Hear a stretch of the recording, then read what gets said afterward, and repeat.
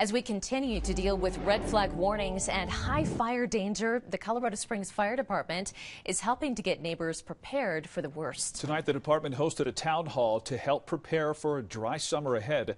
KRDO News Channel 13 Cindy Santafanti joins us from the Meadow Park Community Center near the Broadmoor neighborhood to share how you can be better prepared. Cindy.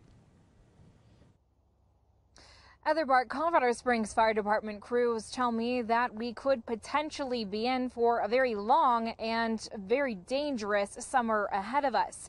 But the good news is, is there is preventative action that people can start implementing right away to hopefully try to mitigate that and ultimately keep their neighborhoods safe.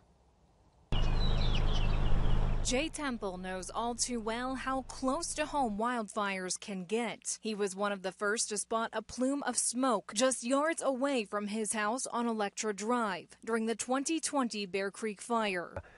Do we feel comfortable with it? Well, we do the best we can. Neighbors are once again on high alert as Colorado Springs firefighters prepare for a busy heart of fire season. They are placing emphasis on higher, more open terrain, referred to as wildland urban interface areas, that is often full of houses. It's the lack of, of moisture in the air and, and on the ground and the lack of snow that we got in our very, very dry, dry spring. Firefighters are using town halls to help show people in Colorado Springs how they can keep their homes safe. Hardening your home, what that means is helping your home be more fire safe. Their biggest tip keep your grass, bushes, and trees all properly maintained. Everyone here in the neighborhood, I mean, if you look up and down, you'll find that there are very few low lying branches. Everybody keeps their yards clean. And remember to respect current fire restrictions in city limits. Right now, Colorado Springs is at level two restrictions, meaning no recreational fires or outdoor smoking is allowed in any city owned parks and open spaces. We're really encouraging everybody to sign up for peak alerts. Notification is key. So when you go to peakalerts.org, you're able to sign up to get your notification.